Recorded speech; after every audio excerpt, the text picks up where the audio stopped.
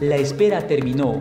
Horacio Salaverri, jugador de Liga de Quito, recibió su carta de naturalización y puede ser inscrito como ecuatoriano en el conjunto capitalino. El defensa que llegó al país en el 2012 ya podrá ser tomado en cuenta por el técnico Pablo Repeto para los siguientes partidos en el Campeonato Ecuatoriano de Fútbol anotó el gol de la victoria ante el Club Sport Emelec y ahora Hernán Barcos está a tres goles de superar al máximo artillero de la U, José Vicente Moreno, que tiene 85. El Pirata habló después del compromiso ante los eléctricos. Un rival difícil como, como Emelec en su cancha, eh, un rival que nosotros respetamos mucho, pero por suerte pudimos llevarnos la victoria, que es lo que nosotros vinimos a buscar y, lo necesitábamos. ¿Cómo se mantiene esta racha, Hernán?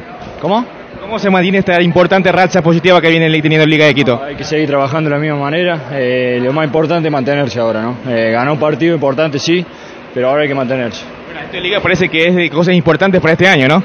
Esperemos que sí, estamos para eso, estamos peleando. Eh, hoy ante el partido dijimos, hoy se va a ver el liga, el liga que queremos, el liga que, que tiene que demostrar para qué está, ¿no?